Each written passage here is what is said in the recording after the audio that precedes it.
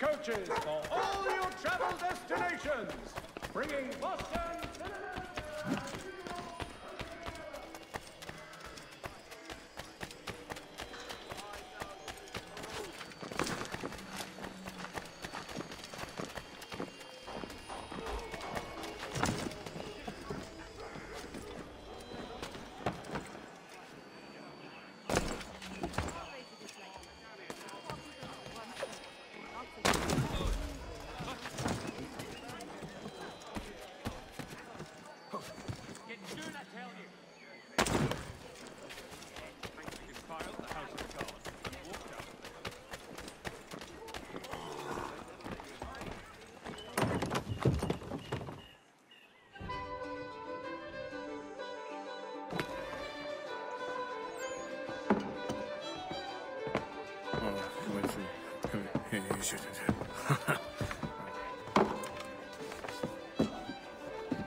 Johnson's told me what you intend.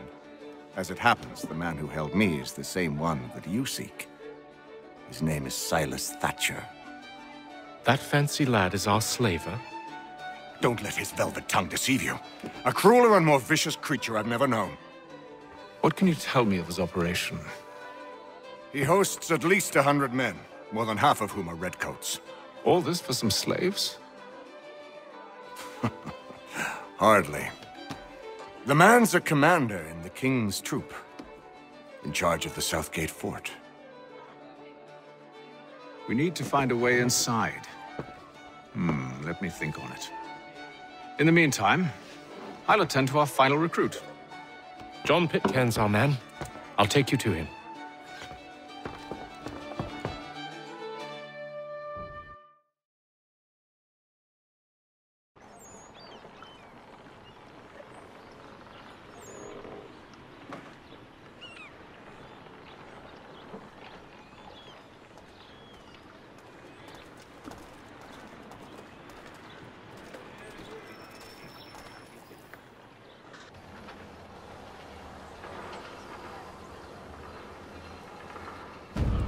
State your business.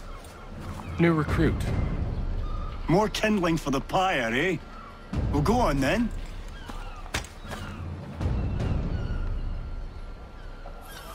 How'd you manage that?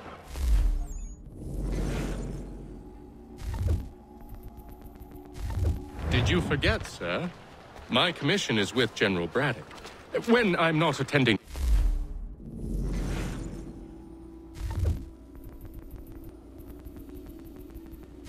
To you, of course.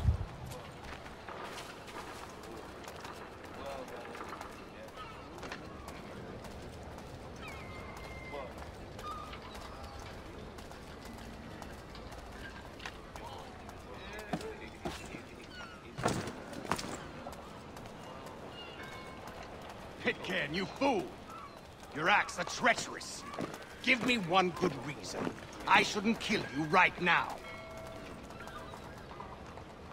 Were you planning to announce yourself? Or did you hope my men Sir, wouldn't notice your arrival? If you'll allow me to explain. Ho ho! By all means. I should like very much to hear this. I have not deserted, sir. I am here under Commander Amherst's orders. Show me a letter bearing his seal, and you might be spared the gallows. I have no such thing. The nature of my work, sir. It's... It's the sort of thing best not put to paper. Haytham. General Braddock? I suppose I shouldn't be surprised. Wolves often travel in packs. Master Pitcairn won't be here for but a few weeks. I shall return him to his proper post once our work is finished. The devil's work, no doubt. It's bad enough my superiors have insisted I grant you use of Charles. But they said nothing about this traitor. You'll not have him. Edward, listen to reason. We're done here. See these gentlemen out.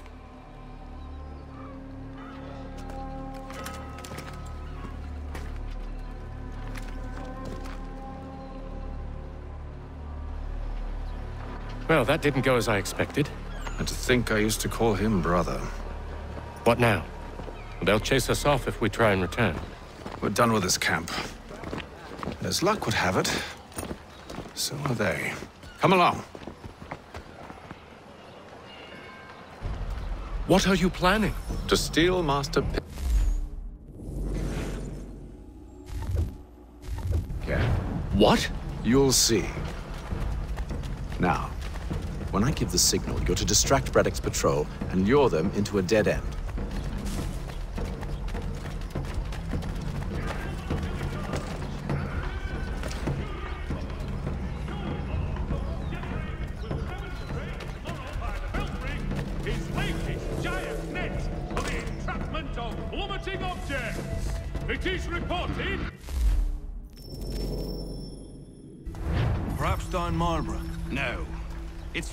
Are too content.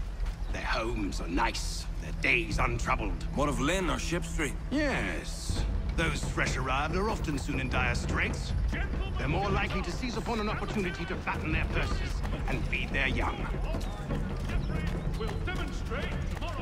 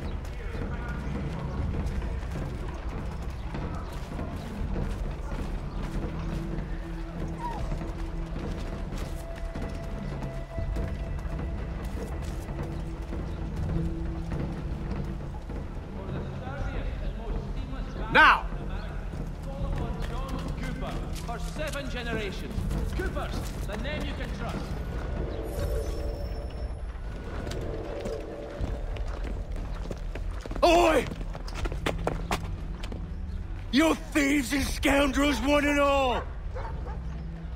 Fie on you and your false war!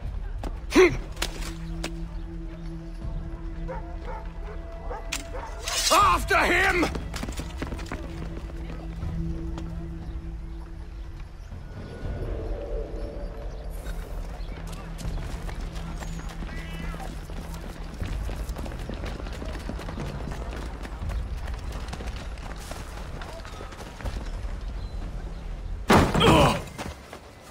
Unhand him, Edward. Ah, you again. Let us go. And John Pitcairn with us. I will not have my authority challenged. Nor I. Put them all in chains.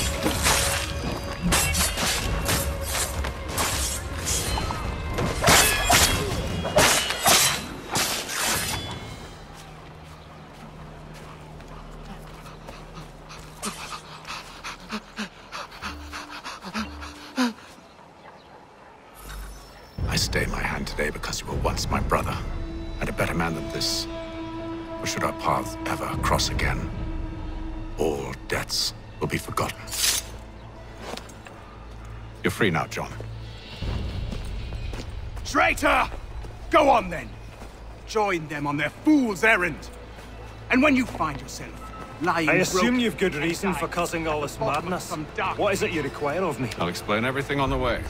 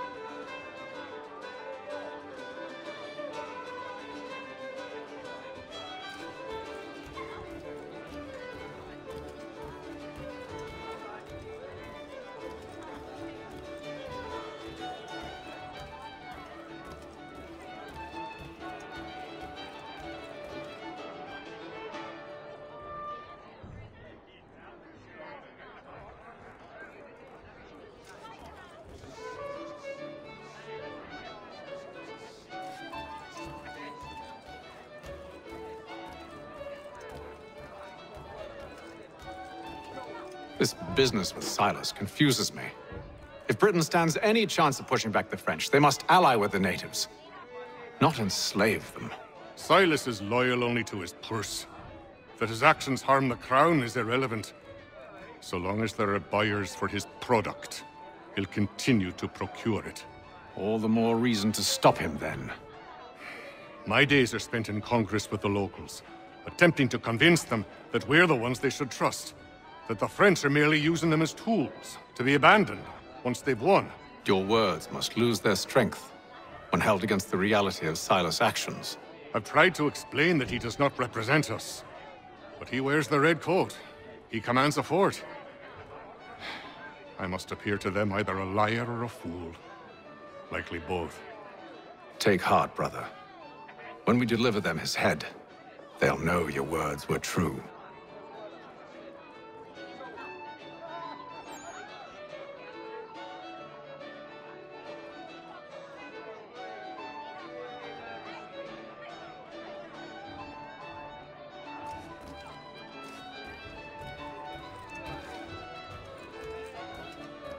So, a question for you. Why medicine? I'm supposed to tell you I care for my fellow man, right? That I chose this path because it allows me to accomplish the greater good. Are these things not true? Perhaps. But that's not what guided me, no. For me, it was a less abstract thing. I like money. There are other paths to fortune. But what better ware to peddle than life? Nothing else is as precious nor so desperately craved. And no price is too great for the man or woman who fears an abrupt and permanent end. Your words are cruel, Benjamin. But true as well. You took an oath to help people, did you not? I abide the oath, which makes no mention of price. I merely require compensation. Fair compensation. For my services. And if they lack the required funds? Then there are others who will serve them. Does a baker grant free bread to a beggar? Does the tailor offer a dress to the woman who cannot afford to pay? No. Why should I? You said it yourself. Nothing is more precious than life. Indeed. All the more reason one should ensure they have the means to preserve it.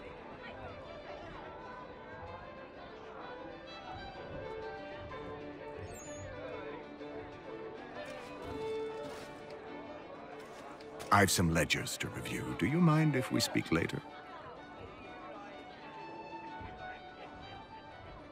Sorry, Haytham, but I'm in the midst of something.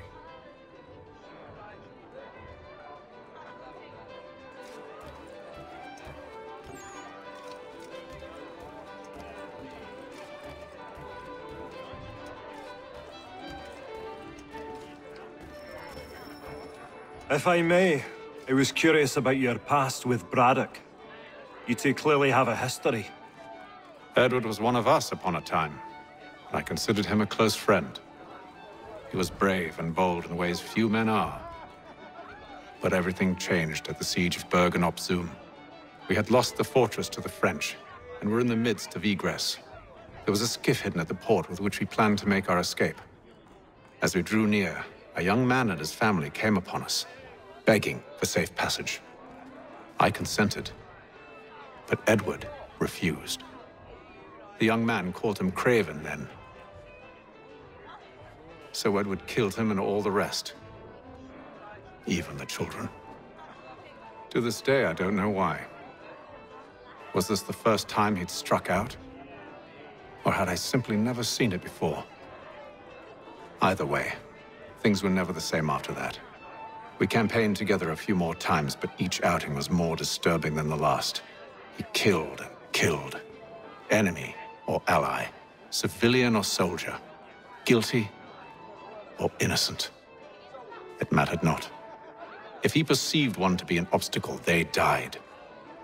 He maintained that violence was a more efficient solution. It became his mantra. And it broke my heart. I had no idea. He hides it well, and intimidates into silence any who discover him. Those who persist have a tendency to find misfortune. And we should stop him. I suppose you're right. But I maintain a foolish hope that he might yet be saved and brought back round to reason. I know, I know. It's a silly thing to believe that one so drenched in death might suddenly change. I'm sorry to have brought this up. It was not my intent to sour you. Nonsense. We are brothers now. There should be no secrets between us. I hope you and the General find a way to patch things up. Don't let me keep you, sir. I'm sure you have more important things to do.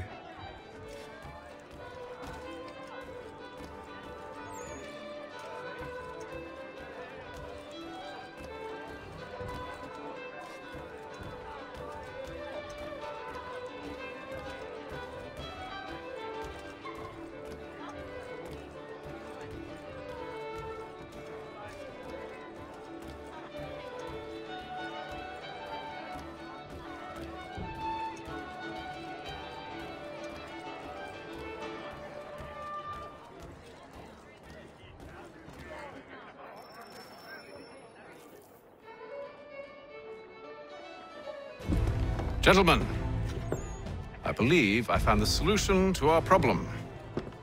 Or rather, Odysseus has. How do you? Are you a new guy? The Greek hero, you lobcock. Allow me to explain. We enter Silas' fort, under the pretext of kinship.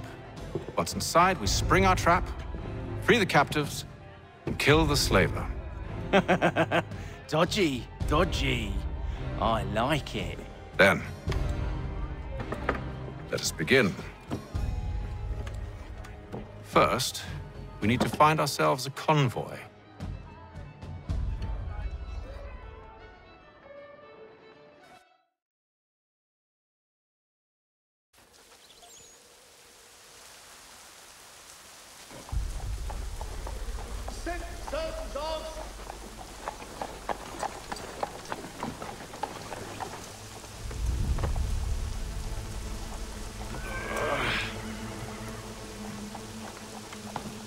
Should be here soon. We'll attack on my signal. Understood, sir. If we time this right, we can catch them all unawares. Strange happenings. Three-legged cat chases dog up tree.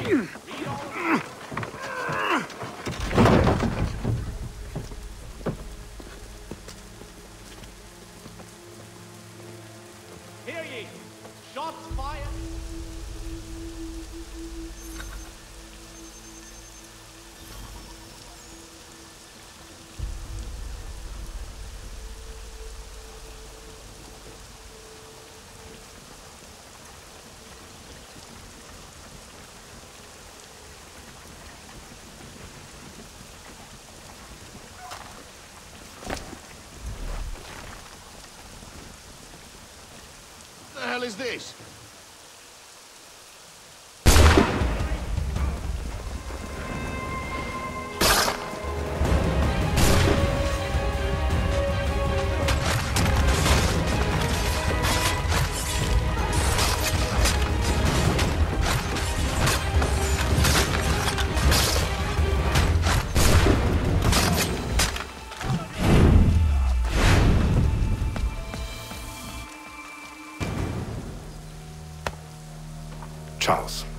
You and William serve as vanguard. Let no man reach us. What about me? You and John will follow from a distance and keep watch over us. I'll signal you when I have need of your services.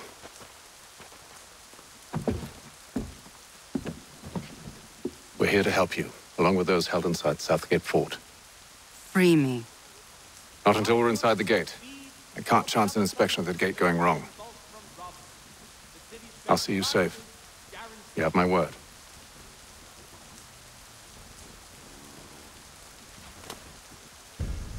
Hear ye! Do you know anything of Silas' operation?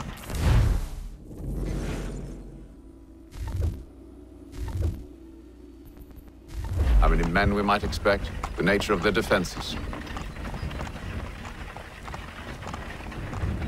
You must be rather important to him if you were given your own escort. Sir, we've enemies ahead. Shall I engage them? No.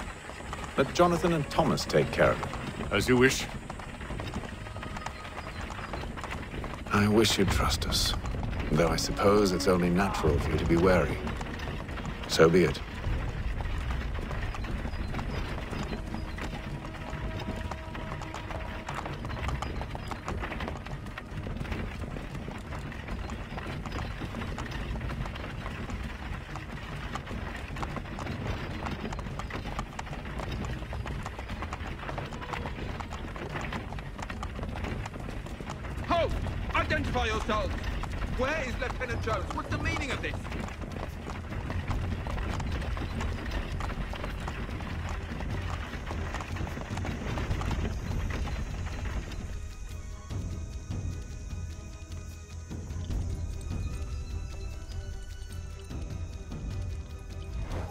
Engage the enemy!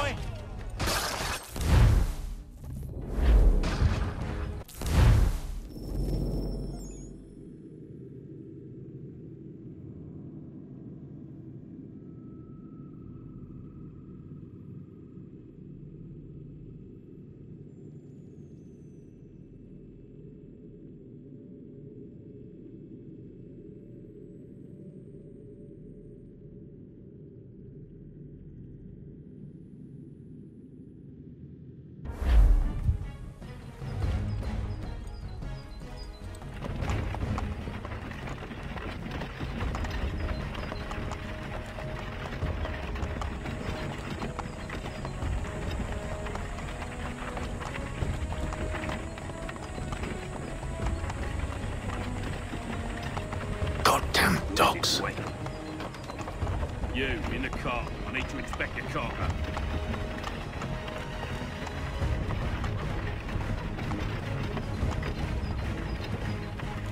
Let no man reach us! Looks like you're to meet the Reaper.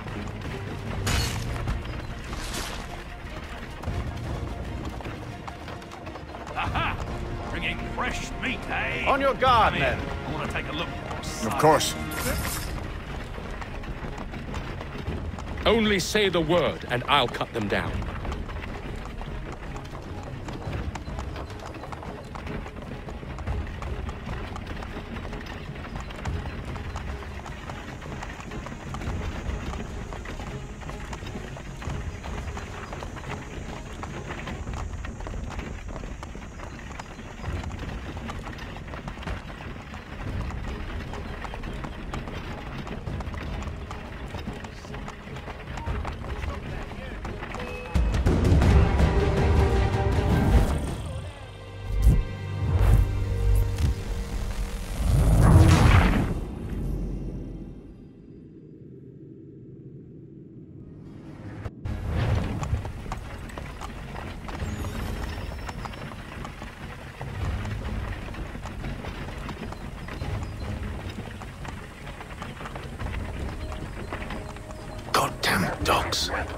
Let no man reach us!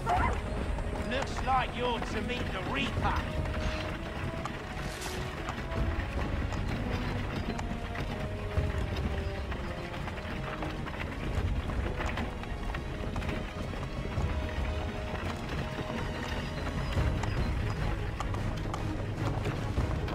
On your guard, men. Bringing fresh meat, eh? Of course.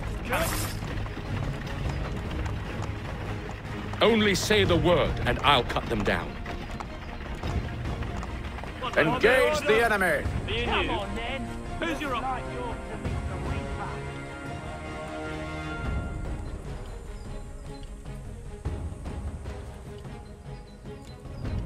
All clear.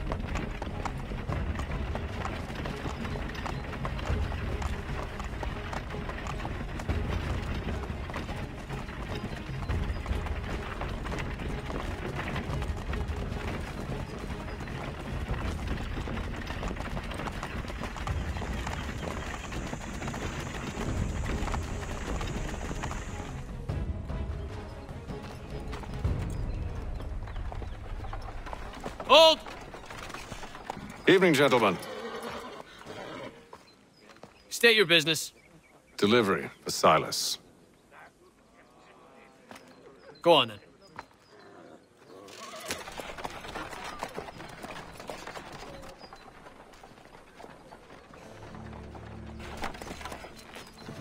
See? I'm freeing you just as I said I would. Now, if you'll allow me to explain. Let her go. But she'll give us away. No, she won't. What's the plan? Free the captives and avoid detection. What of Silas? He dies. Signal when you're ready to strike.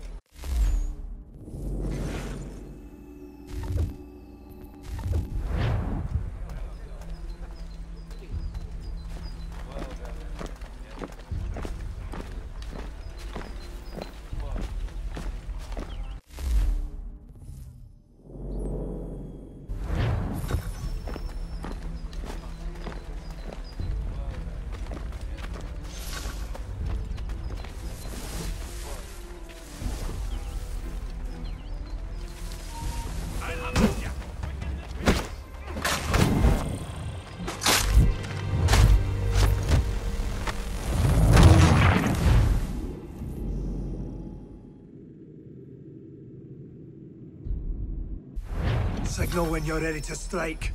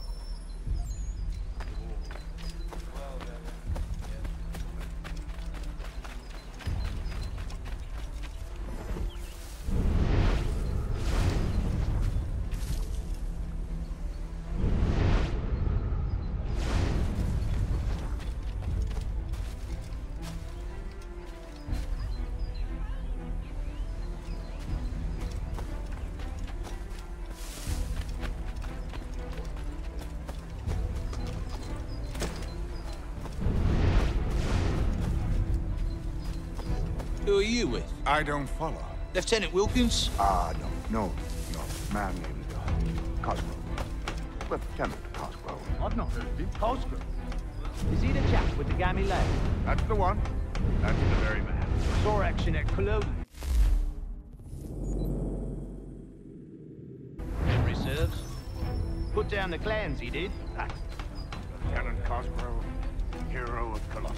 Bit of an ass, as I recall. I've never heard of him.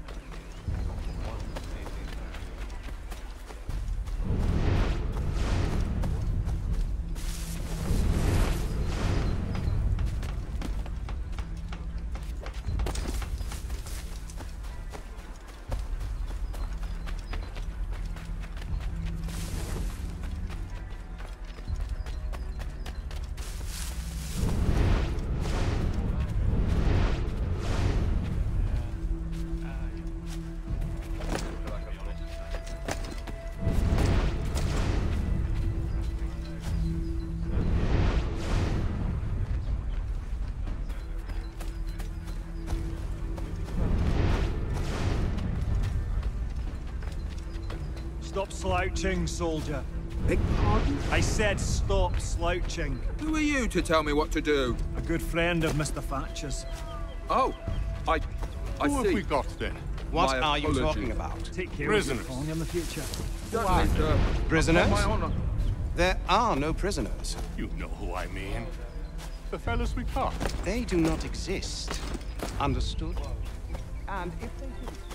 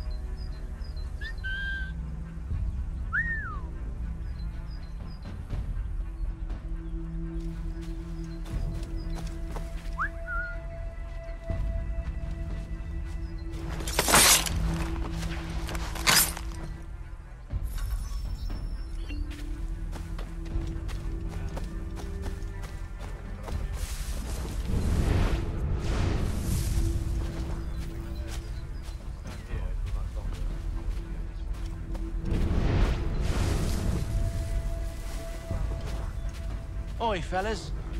Apologies for me tardiness. and Cutter had me working late. well, who do you think got me this post? We're like brothers, me and him. Now, what's it Silas want us doing? We're to rough up the prisoners, relieve them of their finery. I some of them carry real silver. Wouldn't mind helping myself to a bit of it before we send them on their way. Understood, boss? Ah,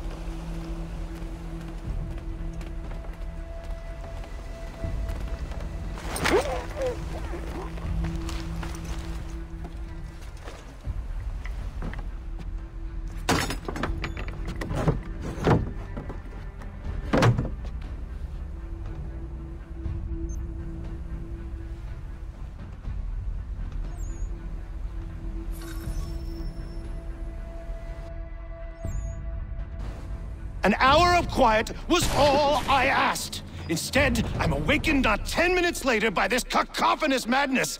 I expect an explanation, and it had best be good. How? How did this happen?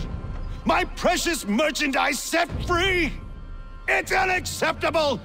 Rest assured, I'll have the heads of those responsible. But first, first we clean up this mess!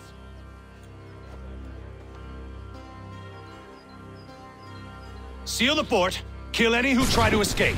I don't care if they be one of us or one of them. To approach the gate is to be made a corpse. Am I understood?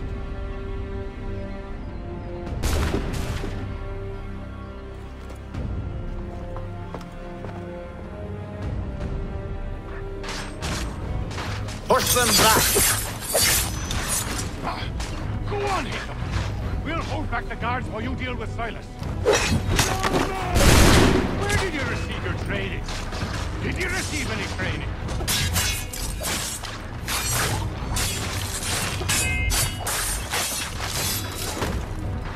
Back, rogue!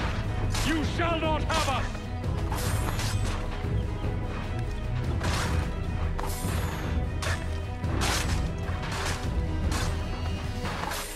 Fighting skills like these, it's little wonder you were sent to guard fort.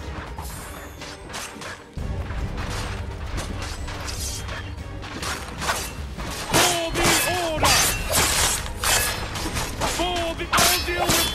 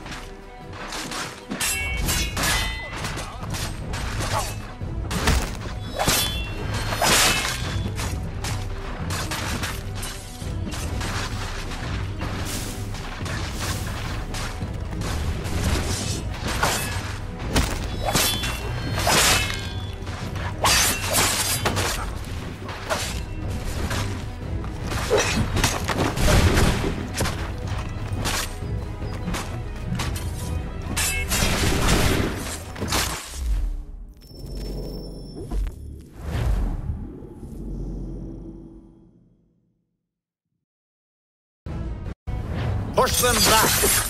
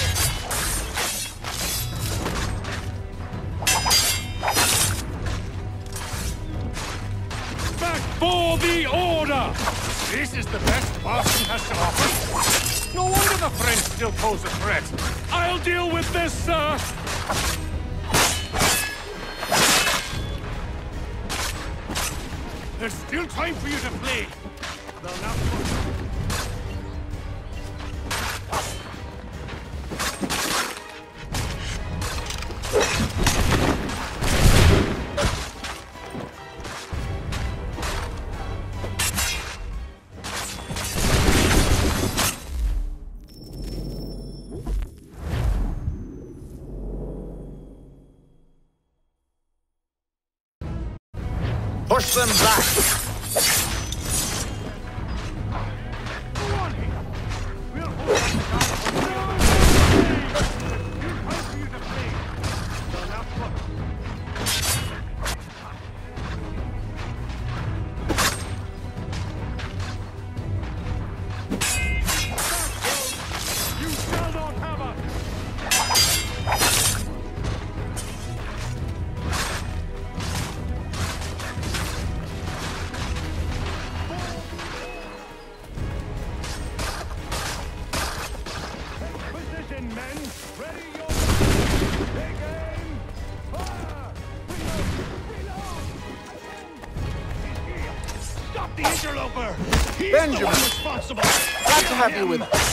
I could use some help.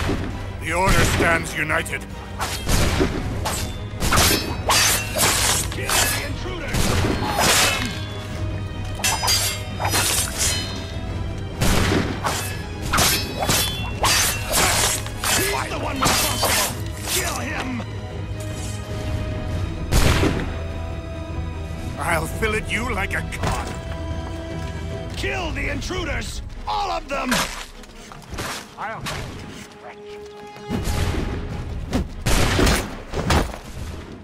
He's the one responsible! Wild pox!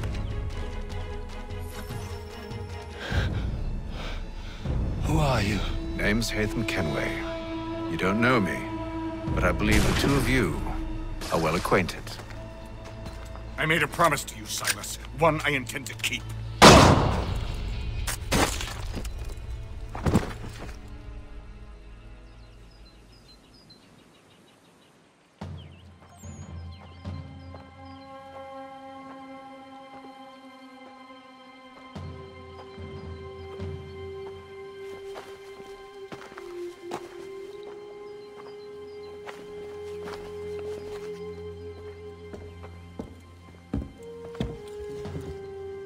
Happens now? We wait. But not for very long, I suspect.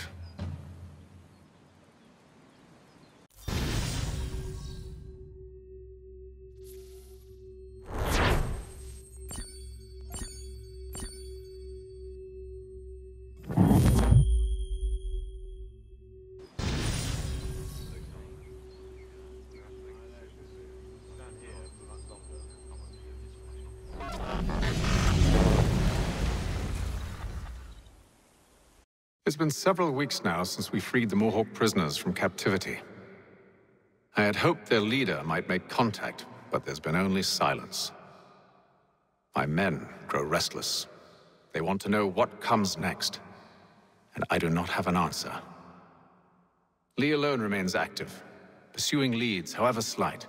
He stalks the city streets and scouts the bordering woods, hopeful that he might make contact with one of those we saved. There was a woman there that night.